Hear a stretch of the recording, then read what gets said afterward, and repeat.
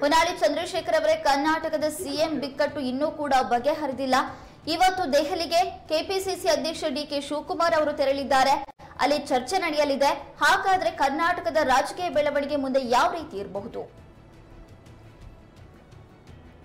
ನಯನ ಸಿದ್ದರಾಮಯ್ಯ ಅವರು ಈಗಾಗಲೇ ದೆಹಲಿಯಲ್ಲಿದ್ದಾರೆ. D K Shivakumar ಅವರು ಒಂದು ದಿನ ತಡವಾಗಿ ದೆಹಲಿ ಹತ್ತ ಹೋಗ್ತಾ ಇದ್ದಾರೆ. ಈಗ ಅವರು ದೆಹಲಿಯ ಮಾರ್ಗದಲ್ಲಿದ್ದಾರೆ. ಅಲ್ಲಿಗೆ ಹೋದ ನಂತರ ಅವ್ರ ಜೊತೆಗೆ ಪಕ್ಷದ ವರಿಷ್ಠರು ಚರ್ಚೆ ಮಾಡಿ, ಅವರಿಬ್ಬರ ಜೊತೆ ಚರ್ಚೆ ಮಾಡಿ, ಮುಖ್ಯಮಂತ್ರಿ ಯಾರು ಅಂತ ಘೋಷಣೆ ಮಾಡುವ ಸಾಧ್ಯತೆ ಇದೆ. ಡಿ ಕೆ ಶಿವಕುಮಾರ್ ಅವರು ದೆಹಲಿಗೆ ಬರುವುದನ್ನೇ ಕಾಯ್ತಾ ಕಾಯ್ತಾ ಇದ್ದಾರೆ ಅಲ್ಲಿ ನಾಯಕರು. ಹಾಗಾಗಿ ಡಿ ಕೆ ಶಿವಕುಮಾರ್ ಅವರು ಈಗ ದೆಹಲಿ ತೆರಳಿದ್ದು, ಅವರು ಮೊಟ್ಟ ಮೊದಲು ರಾಹುಲ್ ಗಾಂಧಿ ಅವ್ರನ್ನ ಭೇಟಿ ಮಾಡತಕ್ಕಂತ ನಿರೀಕ್ಷೆ ಇದೆ. ರಾಹುಲ್ ಗಾಂಧಿ ಅವ್ರನ್ನ ಭೇಟಿ ಮಾಡಿದ ನಂತರ ಖರ್ಗೆ ಅವ್ರನ್ನ ಭೇಟಿ ಮಾಡ್ತಾರೆ. ನಂತರ ಸಭೆ ನಡೀತೆ ಇಬ್ರು ಸಿದ್ದರಾಮಯ್ಯ ಹಾಗೂ ಡಿ ಕೆ ಶಿವಕುಮಾರ್ ಅವ್ರ ಜೊತೆಗೆ ಖರ್ಗೆ ಅವರು ಹಾಗೂ ಹೈಕಮಾಂಡ್ ನಾಯಕರು ಚರ್ಚೆಯನ್ನ ಮಾಡ್ತಾರೆ. ಆ ನಂತರ ಕರ್ನಾಟಕದ ಮುಖ್ಯಮಂತ್ರಿ ಯಾರು ಅಂತ ಘೋಷಣೆ ಮಾಡುವ ಸಾಧ್ಯತೆ ಇದೆ. ಈಗಾಗಲೇ ಸಿದ್ದರಾಮಯ್ಯ ಅವರು ನವದೆಹಲಿಯಲ್ಲಿ ಠಿಕಾಣಿ ಹೂಡಿದ್ದು. ಅವ್ರ ಜೊತೆಗೆ ಪಕ್ಷದ ಕೆಲವು ಶಾಸಕರು ಸಹ ಹೋಗಿದ್ದಾರೆ. ಅದೇ ರೀತಿ ಡಿ ಕೆ ಶಿವಕುಮಾರ್ ಅವರ ಜೊತೆಗೂ ಸಹ ಬಾಲ್ ಬಾಗಡಿಯ ಶಾಸಕ ಬಾಲಕೃಷ್ಣ ಸೇರಿದಂತೆ ಹಲವರು ತೆರಳುವ ಸಾಧ್ಯತೆ ಇದೆ. ಅದೇ ಡಿ ಕೆ ಶಿವಕುಮಾರ್ ಅವರ ಪರವಾಗಿಯೂ ಸಹ ಹಲವರು ಬ್ಯಾಟಿಂಗ್ ಮಾಡ್ತಾ ಇದ್ದಾರೆ. ಅವರು ಮುಖ್ಯಮಂತ್ರಿ ಆಗ್ಬೇಕು. ಪಕ್ಷವನ್ನು ಅಧಿಕಾರಕ್ಕೆ ತಂದಿದ್ದಾರೆ. ಜೆಡಿಎಸ್ನ ಹಳೆ ಮೈಸೂರು ಭಾಗದಲ್ಲೂ ಜೆಡಿಎಸ್ ಮಣಿಸಿ ಅಲ್ಲಿ ಕಾಂಗ್ರೆಸ್ನ ಶಾಸಕರು ಗೆಲ್ಲುವಂತೆ ಮಾಡಿದ್ದಾರೆ ಅಂತ ಹೇಳಿ ಅವರ ಸಹೋದರ ಡಿ ಕೆ ಸುರೇಶ್ ಆಗಿರ್ಬೋದು ಹಾಗೂ ಮಾಗಡಿಯ ಬಾಲಕೃಷ್ಣ ಆಗಿರ್ಬೋದು ಹಲವು ಶಾಸಕರು ಅವರ ಪರವಾಗಿ ನಿಂತಿದ್ರೆ ಇಷ್ಟ ಸಿದ್ದರಾಮಯ್ಯ ಅವರ ಪರವಾಗಿ ಅವರು ಪರವಾಗಿಯೂ ಸಹ ಜಮೀರ್ ಅಹಮದ್ ಸೇರಿದಂತೆ ಭೈರತಿ ಸುರೇಶ್ ಸೇರಿದಂತೆ ಹಲವು ಶಾಸಕರಿದ್ದಾರೆ. ಅಂತಿಮವಾಗಿ ಹೈಕಮಾಂಡ್ ಯಾರನ್ನ ಮುಖ್ಯಮಂತ್ರಿ ಅಂತ ಘೋಷಣೆ ಮಾಡುತ್ತೆ ಅಂತ ಕಾದು ನೋಡ್ಬೇಕಾಗಿದೆ.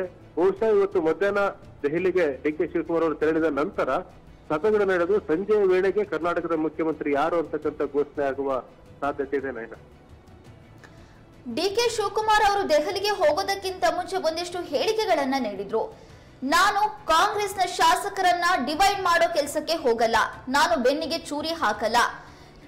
ಶಾಸಕರು ಒಪ್ಲಿ ಒಪ್ಪದೇ ಇರಲಿ, ನಾನು ಕೆಪಿಸಿಸಿ ಅಧ್ಯಕ್ಷ, ನನಗೆ ಸಿಎಂ ಸ್ಥಾನ ಬೇಕು. ಹಾಗಾದ್ರೆ ಈ ನಾನು ಶಾಸಕರನ್ನ ಡಿವೈಡ್ ಮಾಡೋದಕ್ಕೆ ಹೋಗಲ್ಲ, ಬೆನ್ನಿಗೆ ಚೂರಿ ಹಾಕಲ್ಲ ಅಂತ ಹೇಳ್ತಾ ಇರೋದು ಯಾರಿಗೆ ಪರೋಕ್ಷವಾಗಿ ಹೇಳ್ತಾ ಇದ್ದಾರೆ? ಈ ಮಾತಿನ ಅರ್ಥ ಏನು? ವಾಸ್ತವವಾಗಿ ಯಾವುದೇ ಒಬ್ಬ ನಾಯಕ, ನಾನು ಇಂಥ ಕೆಲಸವನ್ನ ಮಾಡಲ್ಲ ಅಂತ ಹೇಳಿದ್ರೆ ಬೇರೆಯವರು ಇಂಥ ಕೆಲಸ ಮಾಡ್ತಾರೆ ಅಂತ ಹೇಳಿ ಬೆರಳು ತೋರಿಸಿದ ರೀತಿಯಲ್ಲಿರುತ್ತೆ. ಅಂದ್ರೆ ಡಿ ಕೆ ಶಿವಕುಮಾರ್, ನಾನು ಚೂರಿ ಹಾಕಲ್ಲ ಅಂತ ಹೇಳಿದ್ರೆ ಬೇರೆಯವರು ಚೂಡಿ ಹಾಕ್ತಾರೆ ಆದ್ರೆ ನಾನು ಅಂತ ಹೇಳಿದಾಗುತ್ತೆ ಶಾಸಕರನ್ನ ನಾನು ಡಿವೈಡ್ ಮಾಡಲ್ಲ ಅಂತಂದ್ರೆ ಬೇರೆಯವರು ಶಾಸಕರನ್ನ ಡಿವೈಡ್ ಮಾಡ್ತಾರೆ, ಆದ್ರೆ ನಾನು ಡಿವೈಡ್ ಮಾಡಲ್ಲ ಅಂತ ಹೇಳಿದಾಗುತ್ತೆ ಅವರ ಮಾತಿನ ಪರೋಕ್ಷ ಅರ್ಥ ಇದೇ ಆಗಿರುತ್ತೆ. ಬೇರೆಯವರು ಮಾಡೋ ರೀತಿಯಲ್ಲಿ ನಾನ್ ಮಾಡಲ್ಲ ಅಂತ. ಆದ್ರೆ ವಾಚ್ಯದಲ್ಲಿ ಹೇಳ್ಬೇಕಾದ್ರೆ ಅವರು, ನಾನು ಈ ಕೆಲಸವನ್ನು ಮಾಡಲ್ಲ ಅಂತ ಹೇಳ್ತಾರೆ ಹೊರತು ಬೇರೆಯವರು ಇಂಥ ಕೆಲಸವನ್ನ ಮಾಡ್ತಾರೆ ಅಂತ ಹೇಳಲ್ಲ. ಆ ಸಂದೇಶವನ್ನ ಯಾರಿಗೆ ತಲುಪಿಸ್ಬೇಕಿತ್ತೋ ಏನ್ ಮಾಡ್ಬೇಕಿತ್ತೋ, ಆ ಪರ್ಪಸ್ ಅದ್ರ ಮೂಲಕ ತರುವಾದ್ರೆ ಅವ್ರ ಹೇಳಿಕೆ ಅಷ್ಟಕ್ಕೆ ಸೀಮಿತ ನಾನು ಮಾಡಲಾದ್ರೆ ನಾನು ಪಕ್ಷದ ನಿಷ್ಠಾವಂತ ಕಾರ್ಯಕರ್ತ, ಯಾವತ್ತೂ ನಾನು ಡಿವೈಡ್ ಮಾಡ್ಲಿಕ್ಕೆ ಹೋಗಲ್ಲ ಅಂತ. ಆದ್ರೆ ವಾಸ್ತವವಾಗಿ ಇರೋದೇನು ಅಂತಂದ್ರೆ ಶಾಸಕಾಂಗ ಪಕ್ಷದಲ್ಲಿ ಸಿದ್ದರಾಮಯ್ಯ ಅವರಿಗೆ ಶಾಸಕರ ಬೆಂಬಲ ಸಿಕ್ಕಿದೆ. ಡಿ ಕೆ ಶಿವಕುಮಾರ್ ಅವರಿಗೆ ಸಿದ್ದರಾಮಯ್ಯ ಅವರಿಗೆ ಸಿಕ್ಕಷ್ಟು ಶಾಸಕರ ಬೆಂಬಲ ಸಿಕ್ಕಿಲ್ಲ. ಹಾಗಾಗಿ ಡಿ ಕೆ ಶಿವಕುಮಾರ್ ಅವರು ಮುಖ್ಯಮಂತ್ರಿ ಆಗ್ಬೇಕು ಅಂತಂದ್ರೆ ಅದು ಶಾಸಕರ ಬಹುಮತದ ಬೆಂಬಲದಿಂದ ಅಲ್ಲ ಹೈಕಮಾಂಡ್ನ ಆಶೀರ್ವಾದದಿಂದ ಮಾತ್ರ ಅನ್ನೋದು ಇಲ್ಲಿ ಸ್ಪಷ್ಟವಾಗಿದೆ. ಹೈಕಮಾಂಡ್ ಹೇಳ್ಬೇಕು, ಸಿದ್ದರಾಮಯ್ಯ ಬದಲು ಡಿ ಕೆ ಶಿವಕುಮಾರ್ ಮುಖ್ಯಮಂತ್ರಿ ಆಗ್ಲಿ ಅಂತ ಹೇಳಿ. ಆದ್ರೆ ಶಾಸಕರು ಸಿದ್ದರಾಮಯ್ಯ ಮುಖ್ಯಮಂತ್ರಿ ಆಗ್ಲಿ ಅಂತ ಹೇಳಿದ್ದಾರೆ. ಶಾಸಕರ ತೀರ್ಮಾನವನ್ನು ಬದಲಿಸ್ತಕ್ಕಂತ ಒಂದು ಅವಕಾಶ ಇರೋದು ಹೈಕಮಾಂಡ್ಗೆ ಮಾತ್ರ. ಹೈಕಮಾಂಡ್ ತೀರ್ಮಾನ ಕೈಗೊಳ್ಳಬೇಕಾಗತ್ತೆ ಆ ಕಾರಣಕ್ಕಾಗಿನೇ ಡಿ ಕೆ ಶಿವಕುಮಾರ್ ಅವರು, ನಾನು ಶಾಸಕರನ್ನ ಡಿವೈಡ್ ಮಾಡಕ್ ಹೋಗಲ್ಲ ಅಂತ ಮಾತಾಡಿದ್ದಾರೆ. ಅಂದ್ರೆ ಶಾಸಕರನ್ನ ಡಿವೈಡ್ ಮಾಡಕ್ ಹೋಗಲ್ಲ ಅಂತಂದ್ರೆ ಬಹುತೇಕ ಶಾಸಕರು ಸಿದ್ದರಾಮಯ್ಯ ಕಡೆ ಇದ್ದಾರೆ. ಈಗ ಡಿ ಕೆ ಶಿವಕುಮಾರ್ ಜೊತೆ ಶಾಸಕರು ಇಲ್ಲ ಅಂತ ಅಲ್ಲ. ಒಂದಿಷ್ಟು ಶಾಸಕರು ಬರ್ಬೋದು. ಹಳೆ ಮೈಸೂರು ಭಾಗದ ಕೆಲವು ಶಾಸಕರು ಬರ್ಬೋದು. ಇವರು ತಾವಾಗಿಯೇ ಟಿಕೆಟ್ ಕೊಟ್ಟಂತ ಕೊಡಿಸ್ತಂತ ಕೆಲವು ಶಾಸಕರು ಇವ್ರ ಜೊತೆ ಬರ್ಬೋದು. ಆದ್ರೆ ಮತ್ತೆ ಅಲ್ಲಿ ಕಾಂಗ್ರೆಸ್ ಪಕ್ಷದಲ್ಲಿ ಗುಂಪುಗಾರಿಕೆ ಶುರುವಾಗುತ್ತೆ. ಗುಂಪುಗಾರಿಕೆ ಶುರುವಾದ್ರೆ ಅದನ್ನ ಹೈಕಮಾಂಡ್ ಬಹಳ ಗಂಭೀರವಾಗಿ ಪರಿಗಣಿಸುತ್ತೆ. ಮುಂದೆ ಎರಡ್ ಸಾವಿರದ ಇಪ್ಪತ್ನಾಲ್ಕರ ಲೋಕಸಭೆ ಚುನಾವಣೆ ಹಿನ್ನೆಲೆಯಲ್ಲಿ ಈ ರೀತಿಯಾದಂತ ನಡೆಗಳನ್ನ ಹೈಕಮಾಂಡ್ ಇಷ್ಟಪಡೋದಿಲ್ಲ. ಹಾಗಾಗಿ ಅವ್ರು ಹೇಳಿದ್ರೆ ನಾನು ಪಕ್ಷವನ್ನ ಶಾಸಕರನ್ನ ಡಿವೈಡ್ ಮಾಡ್ಲಿಕ್ಕೆ ಹೋಗಲ್ಲ ಅಂತ. ಇಲ್ಲ, ನಾನು ಯಾರಿಗೂ ಬೆನ್ನಿಗೆ ಚೂರಿ ಹಾಕಲ್ಲ ಅನ್ನೋದ್ರ ಅರ್ಥ ಯಾವ ರೀತಿ ಹೇಳೋದು ಬೆನ್ನಿಗೆ ಚೂರಿ ಹಾಕಲ್ಲ ಅಂತಂದ್ರೆ ನಾನು ಮೋಸ ಮಾಡಲ್ಲ ಅಂತ. ಮೋಸ ಮಾಡಲ್ಲ ಅಂತಂದ್ರೆ ಈ ರಾಜಕೀಯ ಸನ್ನಿವೇಶದಲ್ಲಿ ಮೋಸ ಮಾಡೋದನ್ನ ಶಾಸಕರನ್ನ ವಿಭಜನೆ ಮಾಡಿ ಬೇರೆ ಕಡೆ ಹೋಗೋದನ್ನೋ ಅಥವಾ ಶಾಸಕರನ್ನ ಒಂದು ಗುಂಪನ್ನ ಮಾಡೋದನ್ನೋ ಬೆನ್ನಿಗೆ ಚೂರಿ ಹಾಕೋದು ಅನ್ನೋದನ್ನ ಹೇಳ್ಬೋದು. ಹಾಗಂತ ಹೇಳಿ ಸಿದ್ದರಾಮಯ್ಯ ಅವರು ಬೆನ್ನಿಗೆ ಚೂರಿ ಹಾಕಿದ್ದಾರೆ ಅಂತ ಡಿ ಕೆ ಶಿವಕುಮಾರ್ ಹೇಳಿದ್ದಾರೆ ಅಂತ ಅಂತ ಅವರು ಈ ಎಲ್ಲಾ ಮಾತುಗಳನ್ನ ನಾನು ಕಾಂಗ್ರೆಸ್ ಪಕ್ಷದ ಒಬ್ಬ ನಿಷ್ಠಾವಂತ ಕಾರ್ಯಕರ್ತ.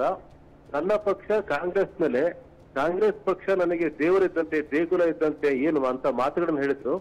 ಆ ಮಾತುಗಳಿಗೆ ಪೂರಕವಾಗಿ ಹೇಳಿದ್ದಾರೆ ಹೊರತು ಸಿದ್ದರಾಮಯ್ಯ ಅವರು ಬೆನ್ನಿಗೆ ಚೂರಿ ಹಾಕ್ತಾರೆ ಅಥವಾ ಸಿದ್ದರಾಮಯ್ಯ ಅವರು ಶಾಸಕರನ್ನ ಡಿವೈಡ್ ಮಾಡ್ತಾರೆ ಅನ್ನೋ ಅರ್ಥ ಇರ್ಲಿಕ್ಕಿಲ್ಲ, ಆದ್ರೆ ಆ ಅರ್ಥ ಬರೋ ರೀತಿಯಲ್ಲಿ ಒಂದು ಹೇಳಿಕೆಯನ್ನ ನೀಡಿ, ವರಿಷ್ಠರಿಗೆ ನೀಡಬೇಕಾದ ಸಂದೇಶವನ್ನ ತಮ್ಮ ಪಕ್ಷ ನಿಷ್ಠೆಯನ್ನ ಇನ್ನೊಮ್ಮೆ ವರಿಷ್ಠರಿಗೆ ಅರ್ಥ ಮಾಡ್ತಿದ್ದಾರೆ ಹೊರತು ಸಿದ್ದರಾಮಯ್ಯ ಅವರ ಮೇಲೆ ಮಾಡಿದಂತ ದಾಳಿ ಅಂತ ಹಂಡ್ರೆಡ್ ಪರ್ಸೆಂಟ್ ಆಗಿ, ಒಂದ್ ಸ್ವಲ್ಪ ಇರ್ಬೋದು, ಒಂದ್ ಸ್ವಲ್ಪ ಅಸಮಾಧಾನ ಇರ್ಬೋದು, ಯಾವುದೇ ಒಬ್ಬ ರಾಜಕೀಯ ವ್ಯಕ್ತಿಗೆ ಅಧಿಕಾರ ಅನ್ನೋದು ಬಹಳ ಮುಖ್ಯ ಆಗತ್ತೆ.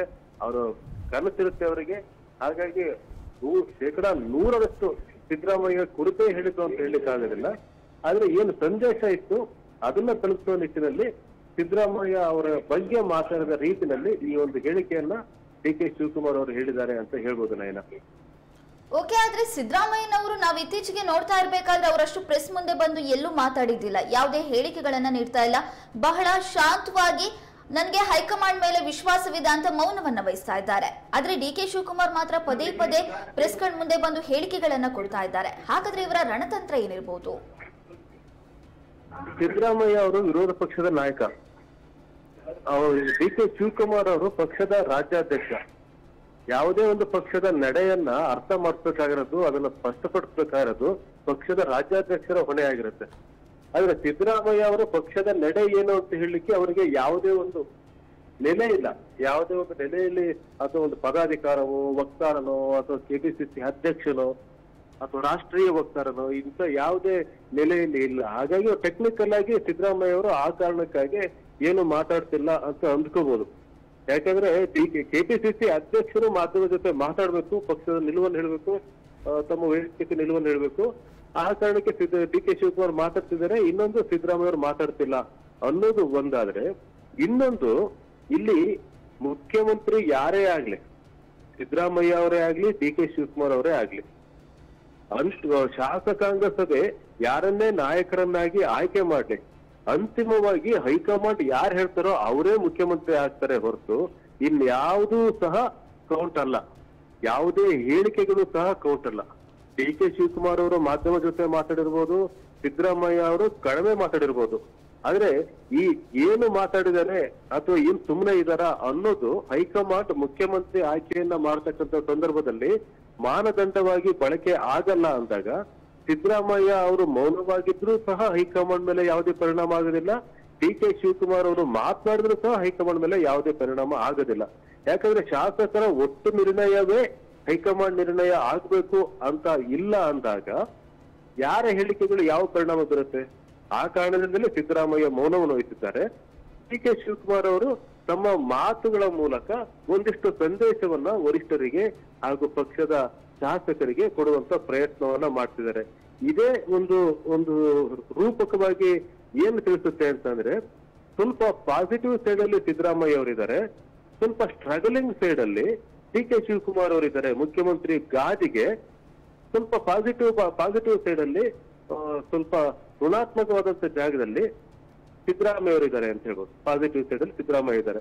ಆದ್ರೆ ಇನ್ನೂ ಹೋರಾಟ ಮಾಡಬೇಕಾದ ಜಾಗದಲ್ಲಿ ಡಿ ಕೆ ಶಿವಕುಮಾರ್ ಇದ್ದಾರೆ. ಆ ಕಾರಣಕ್ಕೆ ಅವರು ಮಾತಾಡ್ತಾ ಇದ್ದಾರೆ.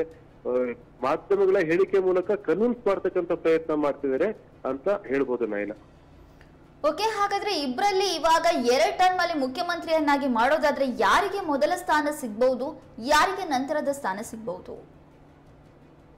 ಅವಧಿ ಹಂಚಿಕೆ ಆಗುತ್ತೆ ಅಂದ್ರೆ ಆ ಅವಧಿ ಹಂಚಿಕೆಗೆ ಸಿದ್ದರಾಮಯ್ಯ, ಡಿ ಕೆ ಶಿವಕುಮಾರ್ ಇಬ್ರು ಒಪ್ತಾರೆ ಅಂತ ಅಂದ್ರೆ ಮಧ್ಯಪ್ರದೇಶದಲ್ಲಿ ಆಗಿರೋ ರೀತಿನಲ್ಲಿ ಅದು ಬೇರೆ ಬೇರೆ ರಾಜ್ಯಗಳಲ್ಲಿ ಆಗಿರೋ ರೀತಿನಲ್ಲಿ ಆಗಲ್ಲ ಅಂತ ಅಂದ್ರೆ ಹೈಕಮಾಂಡ್ನ ಮೊಟ್ಟ ಮೊದಲ ಆಯ್ಕೆ ಮೊದಲ ಅವಧಿಗೆ ಸಿದ್ದರಾಮಯ್ಯ ಅವರೇ ಆಗಿರ್ತಾರೆ.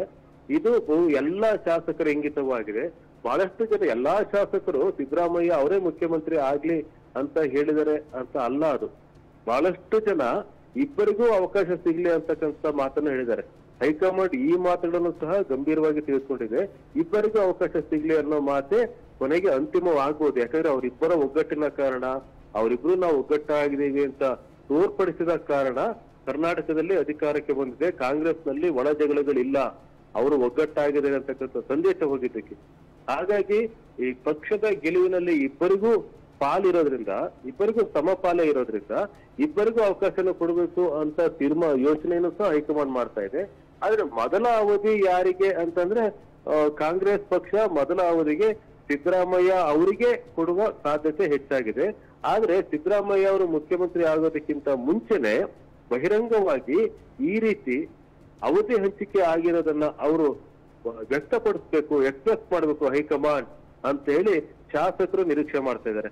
ಯಾಕಂದ್ರೆ ಬೇರೆ ರಾಜ್ಯಗಳಲ್ಲಿ ಆಂತರಿಕವಾಗಿ ಒಣ ಒಪ್ಪಂದ ಆಗಿ ಕೊನೆಗೆ ಶಾಸಕರ ಬೆಂಬಲ ನನಗಿದೆ ಅಂತ ರಾಜಸ್ಥಾನದಲ್ಲಿ ಶಾಸಕರ ಬೆಂಬಲ ನನಗಿದೆ ಅಂತಾನೆ ಅವರು ಅಧಿಕಾರವನ್ನು ಕೊಡದೇ ಇದ್ರೆ ಈ ರೀತಿಯಾಗಿ ಅವಕಾಶ ಆಗಬಾರ್ದು, ಅದೊಂದು ಪಾಠ ಆಗ್ಬೇಕು ಅಶೋಕ್ ಗೆಹ್ಲೋಟ್ ಹಾಗೂ ಸಚಿನ್ ಪೈಲಟ್ ಅವರ ನಡುವಿನ ತಿಕ್ಕಾಟ ಏನಿದೆ, ಅದು ಒಂದು ಕಾಂಗ್ರೆಸ್ ಪಕ್ಷಕ್ಕೆ ಒಂದು ಪಾಠ ಆಗ್ಬೇಕು. ಆ ನಿಟ್ಟಿನಲ್ಲಿ ಮುಖ್ಯಮಂತ್ರಿ ಘೋಷಣೆ ಘೋಷಣೆ ಸಂದರ್ಭದಲ್ಲಿ ಅಧಿಕಾರ ಸ್ವೀಕಾರ ಸಂದರ್ಭ, ಸಂದರ್ಭದಲ್ಲೇನೆ ಆ ಇಬ್ಬರೂ ನಾಯಕರನ್ನ ಕೂರಿಸ್ಕೊಂಡು ಹೈಕಮಾಂಡ್ ಈ ರೀತಿಯಾದಂತ ಒಂದು ಘೋಷಣೆ ಮಾಡ್ಲಿ, ಇಬ್ಬರಿಗೂ ಸಹ ಅಧಿಕಾರ ಹಂಚಿಕೆ ಆಗತ್ತೆ ಅನ್ನೋದನ್ನ ಸ್ಪಷ್ಟವಾಗಿ ಹೇಳಿ, ಆಗ ಎಲ್ಲವೂ ಸ್ಪಷ್ಟವಾಗಿರುತ್ತೆ ಅನ್ನೋದನ್ನ ಹಲವು ಶಾಸಕರು ತಮ್ಮ ಅಭಿಪ್ರಾಯದಲ್ಲಿ ವ್ಯಕ್ತಪಡಿಸಿದ್ದಾರೆ ಅಂತೇಳಿ ತಿಳಿದು ಬರ್ತಾ ಇದೆ ನೈನಾ. ಓಕೆ ನಿಮ್ಮೆಲ್ಲ ಮಾಹಿತಿಗಾಗಿ ಧನ್ಯವಾದಗಳು ಹೊನ್ನಾಳಿ ಚಂದ್ರಶೇಖರ್ ಅವರೇ.